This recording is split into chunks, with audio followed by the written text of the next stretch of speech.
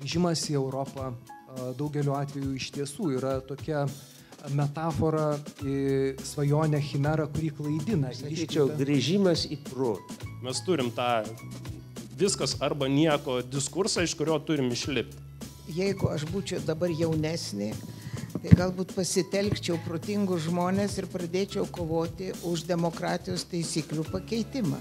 Bet dabar mums reikia su tikrovė turėti reikalų, o mes vis dar tebe gyvename štai toj e, netikros Europos vaizduose.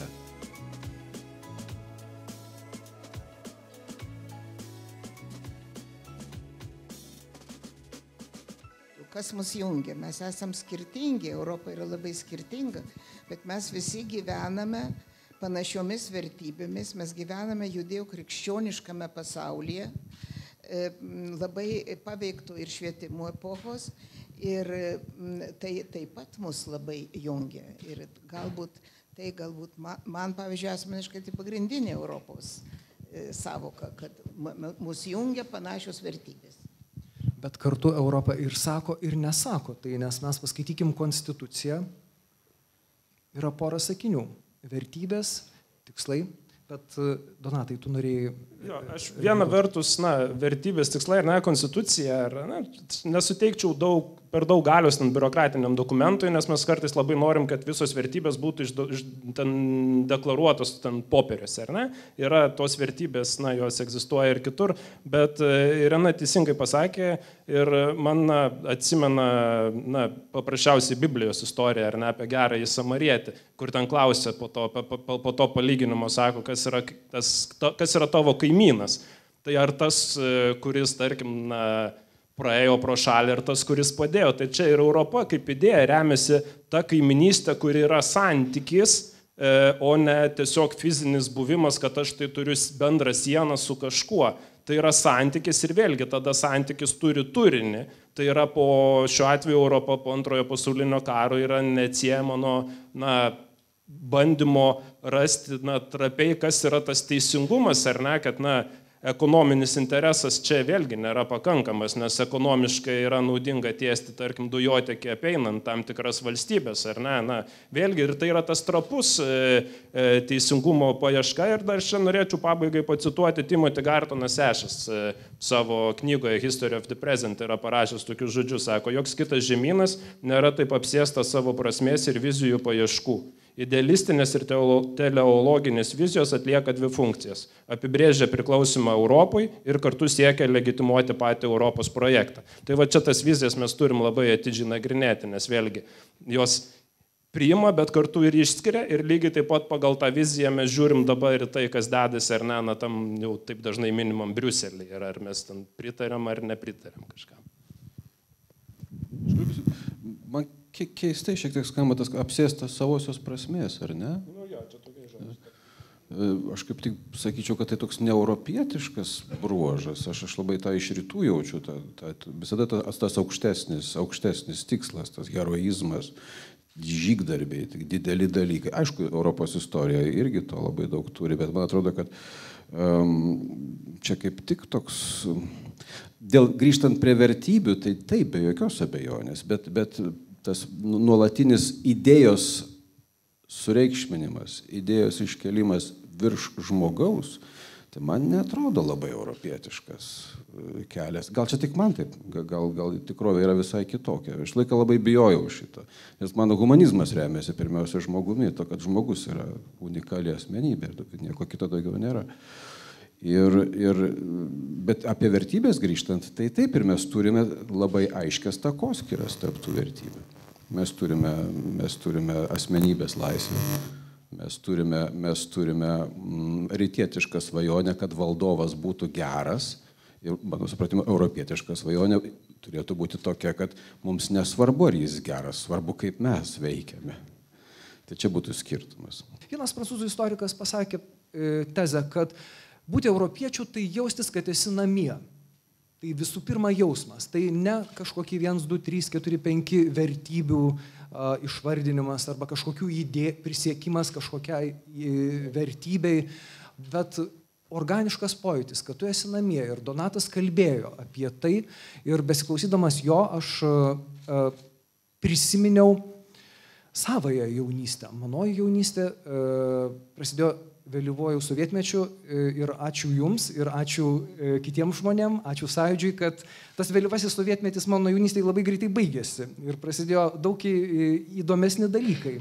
Ir aš prisimenu, kaip mes tada gyvenome grįžimo namo e, laukimu, grįžimo į Europą. Tiek klausydamasis Irenos studentų, tiek jūsų studentų liūdėjimų iš to baisaus laiko, sovietmečio, kuris iš tiesų daugeliu atveju yra toks antieuropinis laikas, antieuropinė kultūra, antieuropinė civilizacija.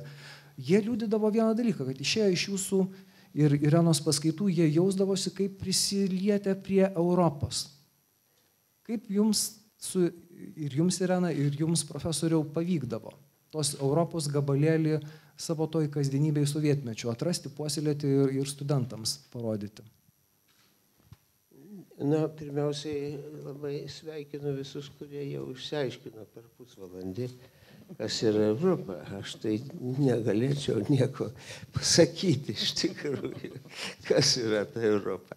Bet tas e, nusakymas, e, kad jaučiamės namie, tai teisingas yra iš esmės, nes E, kai kas nors neaišku, tai geriausiai pažvelgti iš opozicijos, iš to, kas nėra Europa. Ir tada darosi aiškiau. Jeigu būtumėm kur nors Sen Afrikoje, ar, nu, Afrika yra tokia irgi gana įvairi, bet vis tiek visai kito klimato, kitos, kitos rasės žmonių, kitos kultūros ir kitaip galvojančių, kitaip besielgiančių, kitų tradicijų, nu tai žinotum, kad tai yra egzotika, tu esi kitur. O jeigu čia nesijauti kitur, tai mes turbūt nesijausdavom, kad mus norėdavo pastumti. O to, tuo sovietmečiu ir ten labai išdidus ponai vakaruose save vadino Europą, o į mus žiūrėjo kaip į laukinius, e, kartais, kad mes patys kalti atsilikę kažkokie, kartais atlaidžiai pripažindavo, kad žinoma, čia mums taip nepasisekė, reiškia, todėl mes atsilikę ir kažkokie kitokie. Tai būdavo ir pikta, ir tu suprasdavai, kad tai yra, na, nu, neprotingai taip įžiūri.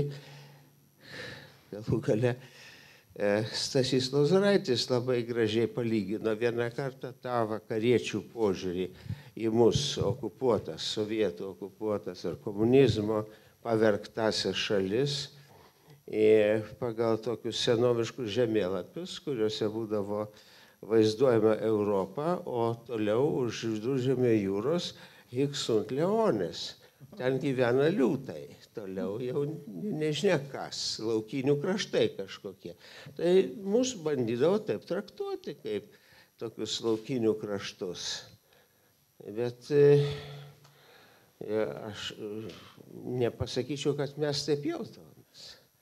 Jausdavomės, kad yra nu, neteisinga ir situacija, neteisingai tą situaciją vertina tie nevalaimingesnėji kurie nepatyrė, nesėdi po padu. Kartais jiems palinkėdavom, kad nu, mes nesam labai tokie pikti ar kerštingi, bet gaila, kad jie bent keletą metų nepagyveno po Stalino padu. Jiems būtų daug aiškiau, kaip pasaulis surėdytas. Bet kadangi jos likimas nuskriaudė, jie tos patirties neturi, tai mes galim padėti šiek tiek papasakoti ir praturtinti tą vargšę nuskriaustą Europą be komunizmo patirties. Mes galim praturtinti, papasakodami apie savo patirtį. Nu, visokių būdavo atvejų. Vieną kartą buvo, buvo toks įdomus prancūzas, Monsieur Toussaint, man rodos, ar jisai kažkokią pavardę, jisai dėstė Vilniaus universitete ir pradėjo domėtis Lietuva ir čia jau visakuo ir čiurlionių galų gale, ir lietuvių kalba. Ir pas Vildžiūnus buvo tokia diskusija. Ir, ir jis kažkaip išreiškė kaip ir užuojautą, kad mes taip patekom į tokią e, padėtį, esam nuskriausti ir, ir net pasakė, kaip, kaip jūs galite be Paryžiaus. Jis neįsivaizduoja, kaip mes galim be Paryžiaus. Aš, pasakiau, kaip jūs galite be Lietuvos? Arba pasakydavom ir taip jūs, reiškia, ten ne kita, bet kitų, kitų, kitame dialoge. Jums mūsų nereikia, bet mes atvažiuosim. Nes jeigu jūs taip, tai mes atvažiuosim ant rusų tankų. Tai jums geriau būtų, kad jūs kitaip pažiūrėtumėt ir kad nereiktų tų tankų. nu, va, toks buvo šiek tiek, e, reiškia, ir e, ne tai, kad nuoskaudos jausmas, bet e, apgalėstavimas, kad Jie neva, neva laimingesnieji europiečiai, kurie tik tai save vadina europiečiais, nu tokie šiek tiek trenkti. Tai iš tiesų, kodėl vienos šalis tokios kaip Čekija, Lenkija ir Vengrija dabar tarytum nusigrėžia nuo tos europietiškos svajonės, arba nas nori kurti neliberalią demokratiją, Kačinskio partijos irgi kai kurie žingsniai vertintini labai nevienareikšmiškai yra. Na, o kitos šalis, kaip Lietuva, tarytum dar laikosi tos e, svajonės, kurį mus vedė į Europą ir kas pagimdė šitos procesus, kad, kad vyksta kažkokia, e, aš nežinau, kaip tai pavadinti, bet regresas kažkoks, nusigrėžimas, ieškojimas kažkokių aplinkelių arba šalikelių abejojimas pamatinis Europa. Būtent pastaruoju metu. Žiūriu į visus, į jūs profesorių, jūs ryti, į, į, į, rytis, nori iškart reaguoti? Man atrodo, aš nežinau atsakymą, bet, bet vienas iš tokių pastebėjimų būtų štai išėjant iš to, ką pasakojo profesorius. Ir, ir įdomus paradoksas, kad tie ateiviai, tie atejūnai mus tam tikrą prasme mums sukūrė įsivaizdavimą apie Europą. Tai tai tuometiniai sovietiniai šaliai, jos gyventojams mes buvom pati didžiausia Europa. Ir suformavom save pagal jų, kaip mes įsivaizdavom lūkesčius. Ar neatsitinka dabar taip, kad mes dabar turim problemų su šita susiformuota Europos samprata savo? Ta tuo metu mums tink, tikusią, nes mums patiko būti europiečiais, jų atžvilgių, va tų, kur iš tankų išlipo tų mongolų, kuriuos minėjo, ar kad ir kaip tai vadintųsi. E, bet dabar mums reikia su tikrovė turėti reikalų, o mes vis dar tebe gyvename štai toj e, netikros Europos vaizduose. Nesakau, kad visi, tik sakau, gal taip galėtų būti. Ir dabar atėjo laikas tą tikrovę suprasti. Ir iš čia iškyla e, įvairūs konfliktiniai, konfliktiniai tokie būdai tai spręsti. Gal tie radikalai Vengrijoje ar Čekijoje tam tikrą prasme ir bando tai daryti, gal net patys nejausdami, destruktyviai, gal netyčia, bet kai ką gal tikrai reikia naikinti kažkokius supratimus, aš nežinau.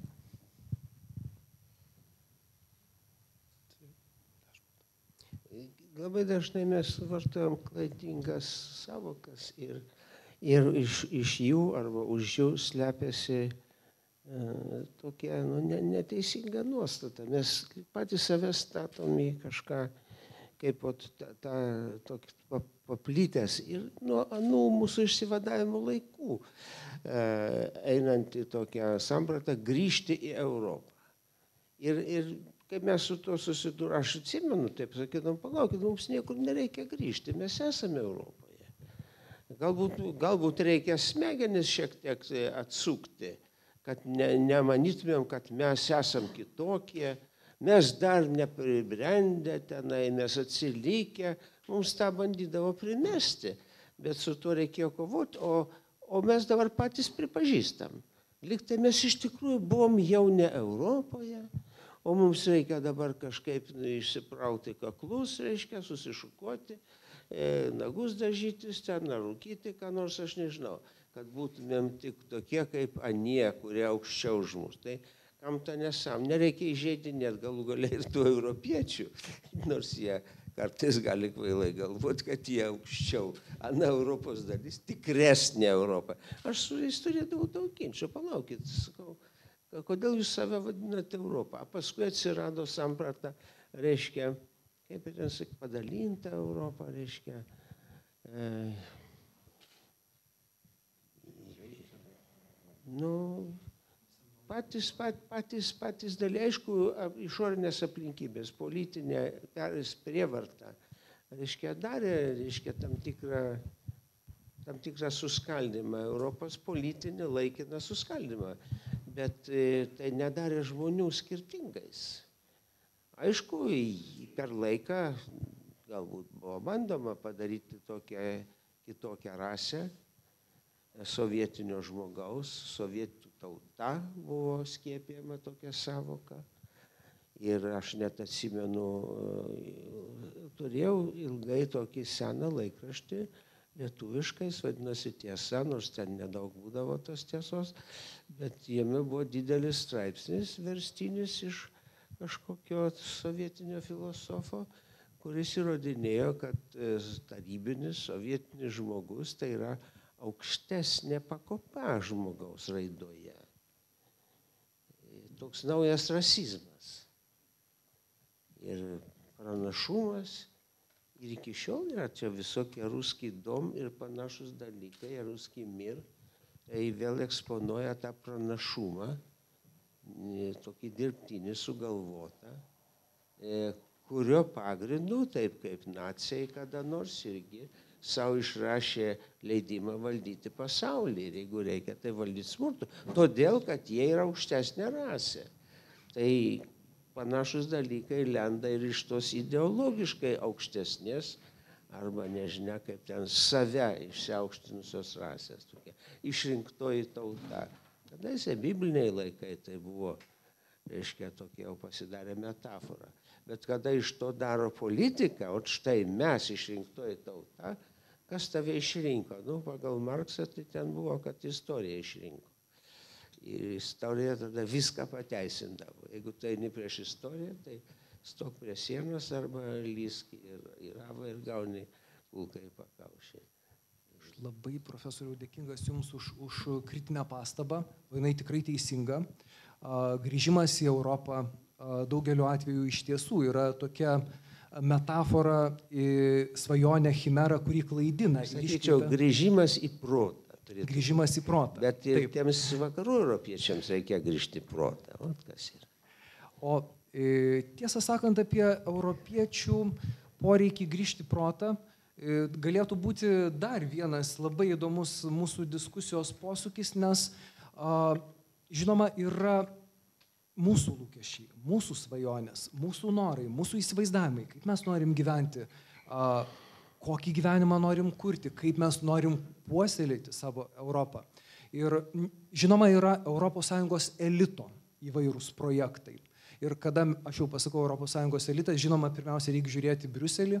Ir, ir aš a, šiuo atveju iš tiesų mm, stebiu, kaip ES pilietis, kaip istorikas, ne politikas, ne, geo, ne geopolitikos specialistas, kas vyksta prieš Brexitą, kas vyko, kas vyko po Brexito, žiūriu į ES politinio elito veiksmus ir aš kažko esmingai nesuprantu. Aš žiūriu, tarkim, į Europos komisijos prezidentą Jean-Claude Junckerą, žiūriu, e, klausausi jo, tos federalistinės vizijos ir aš kažko nesuprantu. Ir aš turiu tokį įtarimą, kad dalis federalistų taip pat nesupranta, kas norima pasakyti, nes tas projektas, man atrodo, labai jau elitistinis, labai jau kabinetinis, labai jau briuseliškas.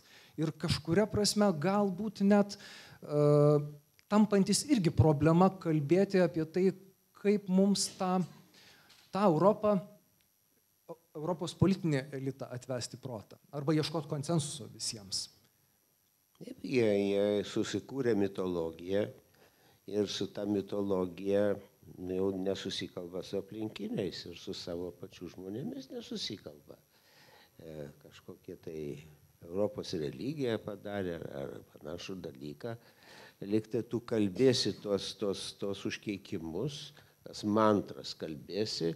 E, aš dar buvau Europos parlamente, aš atsimenu, kaip e, staiga prasidėjo pumpavimas, kad auklėjimas visas turi būti pabrėžtinai europietiškas ir mm, reikia mažinti, reiškia, kultūrinius skirtingumus ir tiesiog jų net geriau neminėti, vis, reiškia, ja, Europos tapatybė. O europiečio tapatybę reikia skiepyti. Kaip tu gali dirbtinai skiepti, reikia užkariauti ir įvesti politrukus. Ji gali pati formuotis, natūraliai formuojasi, iš tikrųjų atsirado tas sluoksnis žmonių, kurie vadinasi Eurokids, reiškia Europos vaikiukai, visokiausių mišrių šeimų iš įvairių e, tautų ir kalbančių daugeliu Europos kalbų vienodai, e, mokančių kalbėti. Ar jie jau neturi jokios preferencijos vienam kraštui, iš kurio yra kilę? Aš to nežinau, aš esu senas žmogus, aš ne iš tų laikų. Gal yra e, iš tikrųjų toksai sluoksnis, kuriam vienodai rodo ar jisai gyvena Italijoje, ar Prancūzijoje, ar, ar kur nors senai Islandijoje.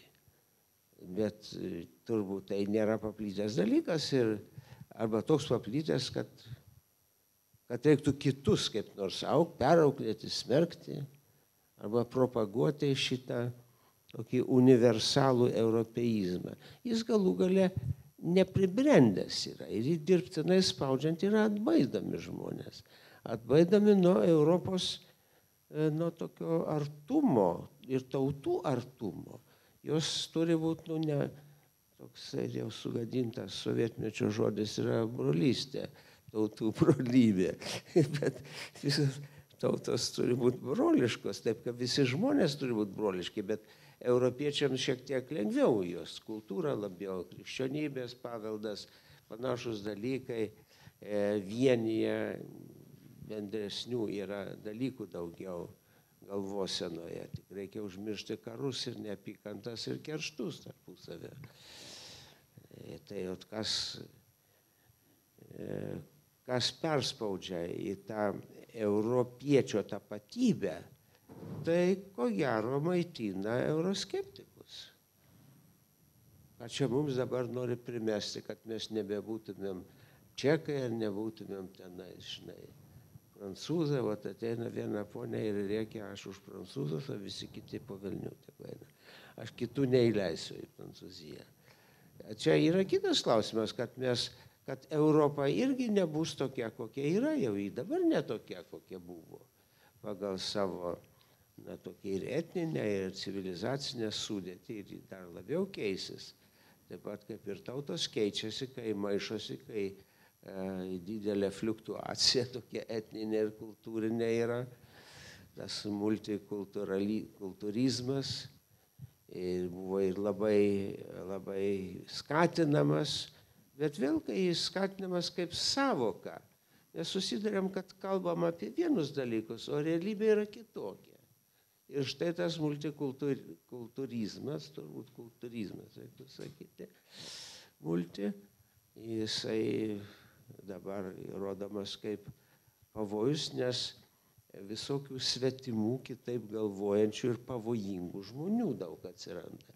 Ir jie nesiintegruoja taip, kaip te buvo norima, kad taptų truputį kitokiais europiečiais.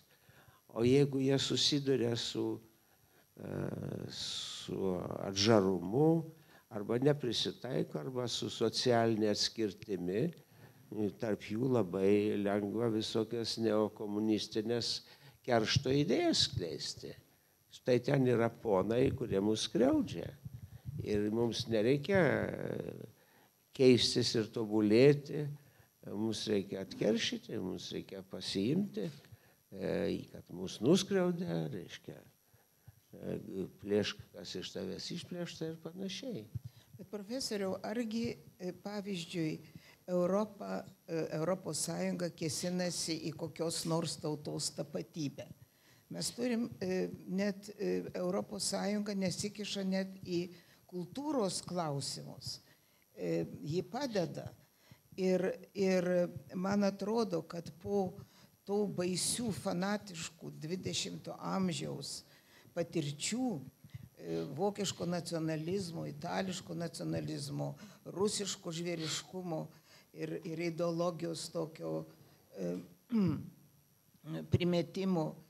E, tai e, man atrodo, kad ES gerbė ir, ir jinai galbūt tiek pabrėžė, kad ji yra prieš nacionalizmą, bet, bet jinai juk ten verčiama į visas kalbas. Jie nuvažiuoja, gali lietuviškai kalbėti. Tai man atrodo, kad galbūt to atsimetimų, atsi, atsigrėži, yra, yra kitokios priežastys, ekonominės galbūt. Galbūt noras valdyti, aš pavyzdžiui, žinau daugelį breksito šalininkų, kurie sakė, kad jie nenori Briuselio diktato, bet pagrindinai tas diktatas buvo ekonominis.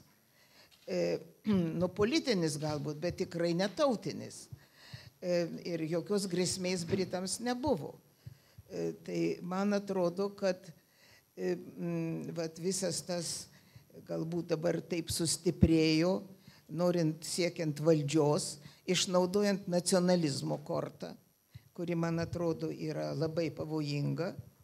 Ir e, taip pat e, man atrodo, kad e, šitas šit, yra savo valdžios troškimas ir čia yra didelis dar islamo vaidmuo, ta, ta emigracija, kuri nežinia, kas ją taip sukėlė.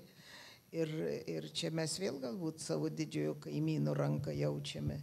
Nežinau, bet atsiriboti nori nuo to svetimo pasaulio, su kuriuo tikrai sunku susikalbėti. Aš manau, kad profesorius Vytautas Landsbergis ir, ir, ir Irena e, palėtė labai labai daug klausimų, kuriems kiekvienam iš jų galim skirti po atskirą diskusiją. Aš labai savavališkai ir savanaudiškai išskirsiu tik porą man atrodančių labai svarbių aspektų. Tai e, vienas aspektas. Iš tiesų, mes gyvename tokioje įtampoje, kada tarytum esam priversti rinktis. Pasakyk, su kuo tu? Ar su tuo, mm, kuo daugiau Europos šūkiu, tuo geriau, tuo tokio maksimalaus federalizmo, to tokio nu, labai žiauraus e, variantų, ar tu su, su tais skeptiškai nusiteikusiais ES atžvilgių žmonėmis, kurie sako, daug ką čia mes pasiliksime patys savo aš tiesiog dabar galvoju iš tiesų paklausti ir, ir, ir e, paties Donatai, ir jūsų ryti, ir, ir, ir jūsų Irena, kaip jūs atsakytumėte į tą dilemą, kurią aš pirmą paminėjau, kuo daugiau Europos ir nu, kuo mažiau Europos arba labai labai su, su didelė atsarga mes dabar atsirinksime, ko mums iš Europos projekto reikia. Gal yra trečias ar ketvirtas kelias, kaip jūs, kaip jūs savo atsakot į šitą, į šitą klausimą? Čia labai daug, man atrodo, tų atsakymų variantų yra, kur problema yra, ar ne, vien jau užkoduota tam tikrą prasme pačiame klausime, nes klausimas yra ne ir ir, o arba arba, ar ne? Arba, arba vienas kraštutinumas, arba kitas kraštutinumas. Ir kita vertus, na, tas nesugebėjimas, na, pripažinti, kad na, politinis gyvenimas tam tikrą prasme reikš, kad tu visada gyvensi įtampoj tame nuolatinėme svarstymė tarp e, daugiau ar mažiau ar ne, o ne tarp galutinio pasiekio, pasiekiamumo vieno kraštutinumo arba kito kraštutinumo. Ir va čia yra tas, apie ką mes kalbame, ar ne, ir kas yra, na, susilpnėję Europoje apskritai, aš kalbėčiau, na, lokalių lygmenių, kur multikulturalizmo, ar ne, pamatinė bėda yra. Tai, kad na, mes labai dažnai fasadiškai būdavo pasidžiaugiama tuo tą įvairovę, ar ne, na, galima statistiką pas, paskleisti. Klausimas, ar yra užsimesgęs socialinis audinys, kuris įgalina tas skirtingas bendruomenės, skirtingus žmonės iš tikrųjų, na, dialogę tame dalyvauti, ar tai nėra tiesiog, na, viešbučio kambarys, ar ne, kad ir, na, aš moku tam tikrą ten, nuomą ir, na, nepatinka, aš išsikraustų kažkur kitur. Bet aš nesijaučiu čia esas, na, kažkaip įsipareigojęs kažkam bendram projektui, ar ne? Ir būtent čia vėlgi, tas su studentais kalbant, ar ne, ar su mokiniais, Europa nėra Oxford Street apsipirkimas ar panašiai, Europa yra, na, kaip ir demokratija, yra kažkas, ką tu darai, ką tu kuri, lygiai taip pat Europa yra, na, ne tik ką tau duoda, bet ką tu duodi, kaip tu kuri ir jį prasideda vėl, aš pabrėšiu, nuo, ne nuo Briuselio, o nuo, nuo tavo kiemo, tavo laiptinės, tavo rajono, tavo miesto, kaip tu visų pirma na, te, užmesgi mesgi bendruomeninius saitus su, su esančiais žmonėmis. Ir va, ar, grįžtant prie diskurso to, ar ne, kas ilgą laiką buvo vaizduojama kaip didžiausia stiprybė, tarkim, paimkim paprasčiausiai, kad ir Lenkijos pavyzdį, ar ne, apskritasis stalas buvo sakoma, štai netgi tas terminas, aš atsimenu, buvo re, revolucija, nu, ne revoliucija, o tokia re, re, re, revoliucija su reforma, toks, na, susėdo, susitarė, ar ne, ne, ne jokobiniškai nenukapojo ne, ne ten komunistam galvų, o Adamas Michnikas po kurio laiko susėdo su Vojcechu Jaruzelskio, ten padarė interviu, mes galime, kalbėti, mes galime kalbėtis be neapykantos, Taip, jie nesakė, kad ai viskas buvo gerai, jis pasakė, tu, ir, ir, ir, ir tiesa, ne, kas buvo, bet jie kalbėjosi. Ir, vat, o tada staiga buvo tai, kas tada laikoma stiprybė, ne, kad, nu, bet kokiu atveju mes turėsim gyventi po vienu stogu, ar tai komunistas gyvens su solidarnos aktyvistu, ar ne, buvęs saugumėtis gyvens su galbūt savo auka, nu klausimas, ant kokio teisingumo, aišku, pamato mes tą statysim, bet vis tiek mes gyvensim kartu. Ir štai tada tas laimėjimas tampa silpnybė, kad sako, jums pritrūko, atsiprašau, už žargoniškumą kiaušių, juos galų gale nuskalpuoti, ar ne? Ir dabar ateina tie, kad sako, jūs buvote per silpni ir va štai dabar mes pagaliau užbaigsim tą 89 revoliuciją, ar ne? Paimsim iš komunistų turtą ir, pažiūrėjau, čia jauni žmonės, šiaip labai daug, aš turiu net bičiulį vieną, kuris, mes kam būtų dalinamės, išvažiavo dabar revoliucijos daryti į Varšuvą grįžęs, bičiulis Lenkas. Tai va, e, Jie dabar nori tą užbaigti, kas jų nuomonė 89 metais, ar ne, žmonės sąmoningai rinkosi dialogą, tai jie sako, ką čia reikėjo kalbėtis, reikėjo paimti, padalinti, ar ne, ir, ir, ir, ir vat, mes turim tą viskas arba nieko diskursą, iš kurio turim išlipti. Aš galvoju, kad tas jūsų minėtas Junkerio, vos nepasakiau Junkerso, tipo elitas iš tikrųjų gavo labai sudėtingą mechanizmą, kaip idėja Europos Sąjunga, tai aš turiu galvoje. Labai sudėtingą mechanizmą. Mechanizmą, kuris prašosi e, naujų būdų, prašosi naujų mąstymų, prašosi labai daug jautrumo ir daug intelekto darbo prašosi. Tai nieks neturi kantrybės laukti. Ir tada koks nors Kissingeris, jeigu aš teisingai atsimenu, metą, tai jeigu ta Europa egzistuoja, duokit man jos telefono numerį, nes aš noriu jai prisiskambinti. Ar kad ir kas tai būtų. Niekas neturi kantrybės laukti. Tai tada tas elitas imasi to, prie ko yra pripratęs istoriškai, tai yra grėžiasi į aristokratiškas Europos šaknis. Kas yra aristokratija, tai yra virš valstybė esantis sluoksnis. Karalienė Viktorija, pusiau vokietė, jos vyras visą grinai vokietis. Tai kaip čia telpa visi tie nacionaliniai dalykai. Taip ir telpa. Tai jie nuėjo, mano supratimu, aristokratijos keliu, nenutraukė tos bambagislės. Kas, kad Italijoje nebėra karaliaus, bet aristokratai tebėra, pavyzdžiui. Ir prarado šansą tokiu būdu kažką pakeisti ir iš čia atsirado noras tą naują tapatybę formuoti, panašiai jų pačių tapatybę, transnacionalinę tapatybę. Tas noras tai galbūt tik irgi tik bandymas kažkaip rasti išskirtinumą tą tai Europai. Nes tave žurnalistai nuolat klausia, tai apie ką jūs esate? Jūs beformė masė, jūs, ne, jūs tris sostinės turit, jūs, jūsų labai sudėtinga, jūsų įstatymų prieimimo procedūra sunkiai suvokiama. Tai kas jūs tokia esate? Tai bando nusitverti, tai už to, tai už to, tai už to. Gaunasi paskui anegdotai iš to. Suprantat? Tai man atrodo, kad čia daug kas atsitinka. Ir dabar bando tą federalinę idėją, galbūt irgi, kad kažkokį parodyt, kas mes tokie formuota tapatybė. Labai sudėtingas projektas ir, ir nu, prašo iš mūsų daug, daug pastangų. Pastangų mes nenorim. Žiūrovai nemėgsta daug laukti. Reikia efekto, reikia šau. Kai tik šau, tai tada iškart žiūri, kad ant karo ribos atsidūrė. Mes tebesam vakarai, nes turim klaipėdoje vakarų laivų statyklą. Kieno ten vakarai? Mes turim vartus jūrą po tiek laiko. Ne, kam ten buvo vakarai, tai iki šiol įkalta į pavadinimą. Vakarų laivų statykla klaipėtai. Sovietų vakarai. Man labai sunku atsakyti šitą klausimą, leidžiantis į teorinės diskusijas, aš jas nesileisiu. Bet lankantis Amerikoje, kaip Fulbrighto stažuotojui, man nuolat kildavo toks įspūdis, kad uh, Šiaurės Amerika kartais e, sako, mes dabar vakarai, jeigu kas ateisime išspręsime kai kurios klausimus, nes tiesą sakant, šitą būtinį tokį jausmą man sukėlė pokalbis su, su e, New Yorko e, oro uoste e, sienos apsaugos tarnybos pareigūnų, kuris sakė, tai kaip pas jūs ten reikalai. Ir aš sakiau, nu tokie vat reikalai, atskridau į stažuotę, e, geriau kavą prieš dieną su, su savo bičiuliu poetu, gyvenom tokiom karo laukimo nuotaikom. Taip vartė, vartė mano pasą, sako, aš suprantu, reikės tai spręsti kažkokiu vienokiu ar kitokiu būdu. Tai nu, toks pajuokavimas šiuo atveju, bet galbūt tas būtinis pastebėjimas irgi kai ką pasako. Apie, apie tai, kur yra tie vakarai, kur, kur tie vakarai jaučiasi vakarais ir kokie jie santykiai su Europa uh, kuria kartais. Nu, aš tai vėl galbūt pasikartosiu, bet man atrodo, kad mes turim daugiau galvoti apie tai, kad Europa yra vertybinė savoka. Kad e, būti europiečių, tai reiškia visų pirma būti sažiningų žmogumi, palaikyti demokratiją, nors jūs galit pasijuokti iš manęs, aš ne politikė, bet jeigu aš būčiau dabar jaunesnė, tai galbūt pasitelkčiau protingus žmonės ir pradėčiau kovoti už demokratijos taisyklių pakeitimą.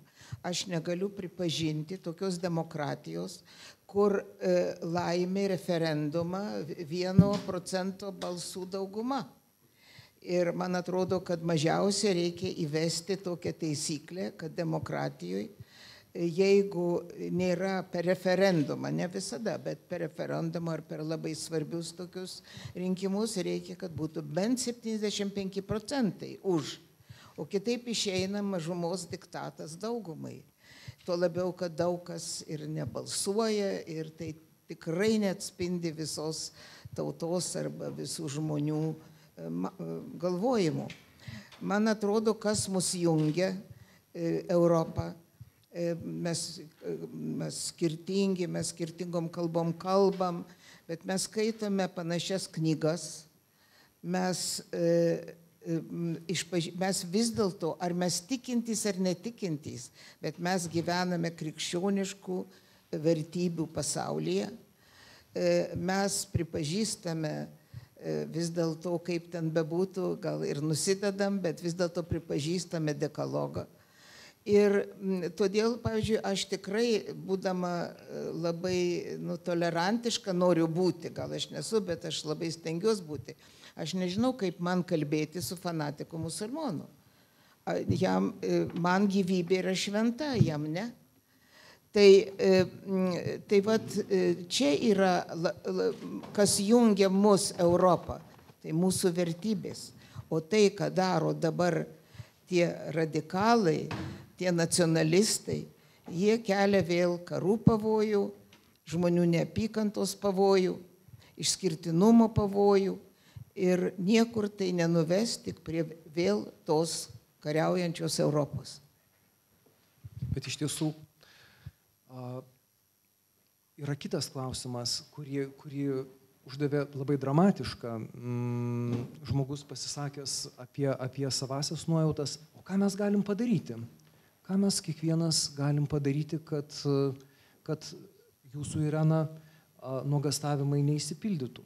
Kad, kad ta nuojauta, kuri tvyroja virš mūsų galvų geriant kavą rytinę, žvelgiant į, į, į senamiestį, neįsipildytų. Uh, kažkuria prasme, žinoma, visas tas mūsų pokalbių ciklas bus šitų nevienareikšmių ir, ir e, tikriausiai taip lengvai neatsaky, neatsakomų e, klausimų, e, vis tik atsakymų paieškos.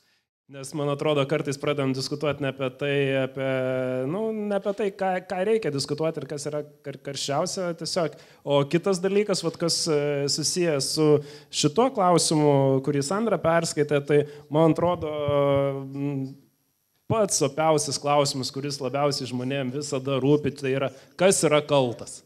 Na, ir nuo to prasideda dauguma diskusijų ir tada yra paprasčiausia, nes tada, na, taip net simboliškai, rituališkai tu perkeli tada kitą tą kaltę į, į kitą ir e, čia vat, ir, ir, ir ateina į mm, tą klausimą, kuris, kuris buvo anksčiau sakyt. paklaustas, ar, ar žmonės mokosi iš istorijos, ar ne. Aš manau, kad jie, aš nebejoju, kad jie mokosi, tik tai vieni mokosi iš Stalino, kiti mokosi, nežinau, iš uh, Havelo. Tai čia kokį mokytoją tu pasirinksi, tą ir mokysiesi.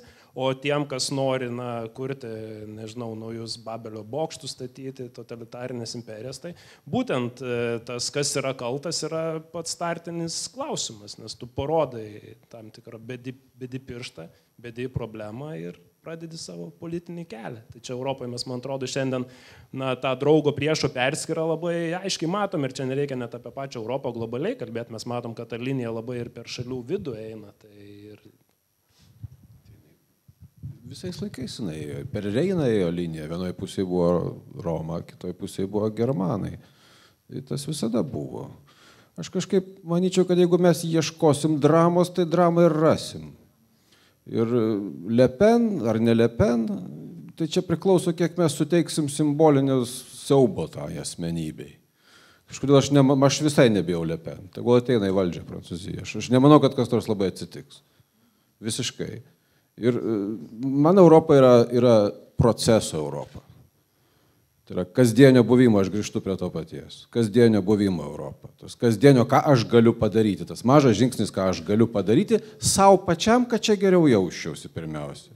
Nes aš tai egoistiškai noriu. Ir aš noriu apsipirkti Oxford Street ir pagėdauti, kad turėčiau gerą kortelę, kur būtų daug pinigų joje. Tai yra normalus noras žmogaus.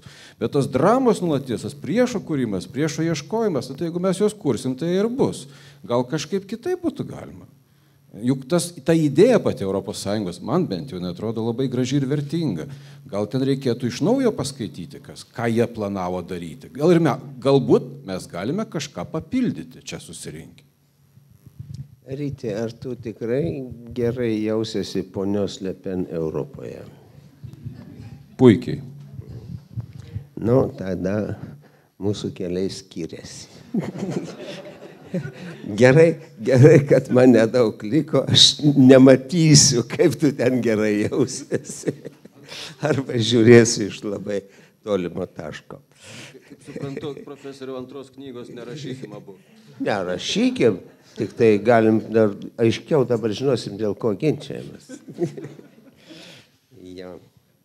Tiesą sakant, Rytis ir, ir profesorius išsprendė mūsų su Irena tyliai aptartą problemą. Galvodami apie, apie diskusijos finalą, mes tyliai gal, e, klausėm vienas kito, kaip a, baigti šią diskusiją paliekant šiek tiek vilties mums patiems, a, auditorijai. Tai vilties yra, nes Rytis su profesorium praktiškai sulygo a, dėl antros knygos, kurioje a, taip pat bus didelis dėmesys skirtas ir Europos temai. Tiesą sakant, aš dėkingas ryčiui už tai, kad e, jūs priminėt dar vieną kartą labai svarbų dalyką, kad Europa yra nuolatinis vyksmas, tapsmas, procesas. Vilti reikia kurti ir, ir pačiam savo, ir ją palaikyti. Aš tiesą sakant, galvodamas, ko galėčiau tikėtis iš artimiausios ateities, prisiminiau, kad turiu keturių metų dukrą. Aš labai norėčiau, kad kai jinai paauks, mes galėtume keliauti po Europą ir aš galėčiau su jie džiaugtis jos įvairovę ir, ir parodyti jai tas vietas, kuriuose aš buvau ir, ir buvau labai laimingas. Irena, kokios uh, viltingos nuotaikos uh, mes galėtume įsiskirstyti iš šitos diskusijos, konstatavę tiek daug blogų dalykų. Tas negerai, tas neaišku, nežinia, ką daryti vienoje ar kitoje sferoje. Nu, visų pirma, nuostabu, kad mes jau kalbamės ir kad mes galvojam apie tai. Jeigu mes suprasime ir e, kame yra problema, e, kur mes turim toliau eiti. Žinot, aš e, nemanau, kad mes turim gyventi mažos tautos tokia sindromu. Mes esam didelė tauta. Lietuva turi nuostabų jaunimą Mes jau turim jaunų mokslininkų. Pas mus daug yra negerovių, bet mes turim didelį, tikrai didelį potencialą. Ir mes turim juo tikėti. Ir mes turim jį puoselėti. Ir aš manau, kad mes e, dabar yra pirmas mūsų pokalbis, kuris jau teikia daug vilčių, kadangi tikrai iškelta daug įdomių problemų. Bet e, se- kitose mūsų mm, susi, susibėgimuose arba konferencijose mes turėsime svečių iš kitų šalių, kitų pažiūrų, e, kitos patirties. Ir aš manau, kad mano svajonė būtų, kad mes po visų aštuonių sesijų rastumėm savo kažkokį požiūrį, kurį mes galėtumėm pareikšti, e, kurį mes galėtumėm pasakyti e, žmonėms, galėtumėm e, publikuoti Europoje ir tapti to europinio e, Europos Sąjungos kūrimo, palaikymo žaidimų dalyviais. Ir aš tuo tikiu ir aš esu tikra, kad mes tą galėsim padaryti, bet reikia tikėti. Aš turiu daug vilčių. Ačiū, Irena. Leiskit man dar du trigrašys įterp, nes e, gana dažnai aš atsiduriu ir matau situaciją, kad mes e, labai daug diskutuojam dėl antrinio dalyko. Ir tartum čia yra tas svarbusis klausimas, bet jeigu štai kas amžinas klausimas, kas kaltas, taip čia antrinis dalykas. Pirmas yra teiginys, kad yra blogai. Ir todėl reikia klausti, kas kaltas. Todėl, kad jau pasakėjai, kad yra blogai. Tai atsakykim savo pirmiausia į tai. Ar iš tikrųjų yra blogai? Ar yra kaip nors? O mes savo įsikalėm, kad tai yra blogai. Kada... Niekada nebuvo taip gerai kaip dabar. Ne, tu Tai... Ir skurdo buvo irgi pakankamai ir praeitie. Yra, yra blogio labai daug tenais ir, ir, ir neapykanta, ir vaikų ten problemas, ir visa kas čia. Bet, bet iškia tai yra tokia konstanta, kad yra blogai. O ar iš tikrųjų yra e, ne kaip nors, o jau mes kvalifikuojam kaip blogai. Dalai Lama nemano, kad yra blogai. Jis tik tai sako, tu norėk to, ką turi. Ir tau nebus blogai. Pa, pažiūrė, o ką, ka- kaip...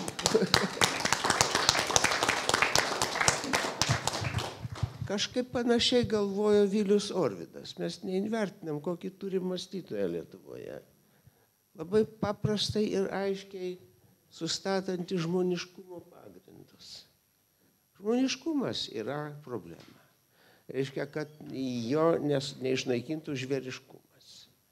Jeigu mes galim prisidėti prie to, kad stiprėtų žmoniškumas, o, o žvėriškumas trauktųsi į tokią nenormalios būsenos e, e, vietą, tai jau bus labai daug. Bet mes matome, kad žvėriškumas darosi norma. O jeigu žmogus pasielgia žmoniškai, tai mes jau gėrimės, iškeliam, kaip pavyzdį. Žinoma, gerai, bet tai jau rodo mūsų atskaitos taškų tokį susimėtymą. Būti žmonišku tai kažkas ypatinga. O būti žvėrišku tai nu ką. Ne? Tai visi čia maždaug taip, daugiau ar mažiau. Tai o čia dėl to, e, dėl to vieno svarstymo, kas kaltas. O kitas tai yra, ką mes tai Europai galime atnešti, duoti ar panašiai. Tai pirmiausiai reikia kuo nors būti, kad tu galėtum atnešti. Nu, tai ko, ko mes esam, tai ir nešam. tai irgi, reiškia, tą suvokim nuolankiai ir kukliai. Jeigu galim šiek tiek pagerėti, tai jau ir būsim geresni ir tai Europai. Ir jeigu tada visiems bus geriau, taip kaip Sokratas sakė, jeigu aplink mane geresni žmonės, tai man geriau. Tai už ką man, mane baudžias mirtimi, aš norėjau, kad jie būtų geresni. Ačiū profesoriau už optimizmo dozę. Donatai, ar bus iš tavęs koks nors optimistinis apibendrinimas? Pradėkim nuo savo sodo, o ne pirmą eidami žiūrėdami ten obolius pavogdami iš kaimyno arba nupjaudami ten apskritai tą obelį. Ar, ar pradėdami aiškinti, kad ten pas tave ne tai auga, kas turėtų aukti. Tai man tas savo sodo metafora labai patinka, nes jinai būtent nuleidžia tą visą projektą link vėlgi, nuo ko aš pradėjau, į panevežį. Ir šita metafora yra labai pavasariška. Tai tikėkime, kad pavasaris vis tik tai pas mus ateis ir gegužės 26 dieną. Aš labai tikiuosi, mes vėl susitiksim atviros Lietuvos fondo namų saliai ir kalbėsim apie vidurio Europą. Ir kaip Irena ir žadėjo, tai šita diskusija jau bus ne tik su lietuviškom pajėgom, o pasikvietus ir kultūros antropologą ir literatūros istoriką profesorių Andžiai Mensvelį iš e, Varšuvos. E, jam padės diskutuoti apie vidurio Europą taip pat ir, ir lietuvių intelektualai. Taigi e, iš karto darau anonsą ir tikiuosi, kad mes jūsų nenuvylėm, nenugazdinom ir nenuvarginom ir jūs grįšite dar po mėnesio. O dabar aš noriu tikrai labai nuoširdžiai padėkoti visiems šios diskusijos, kuri vyko su nuotykiais su įvairiom improvizacijom, kartais nuklystant į tam tikras lankas, kartais iš jų grįžtant greičiau arba lėčiau. Visiems diskusijos dalyviams, pradant Irana, tęsant profesorium Ryčių, Donatų, visiems jums nuoširdus ačiū. Ačiū puikiai auditorijai už jūsų reakcijas, klausimus, diskusijas. Sustiksim po mėnesio.